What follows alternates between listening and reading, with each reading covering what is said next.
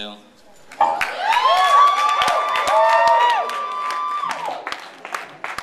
like to introduce our singer, Kieran.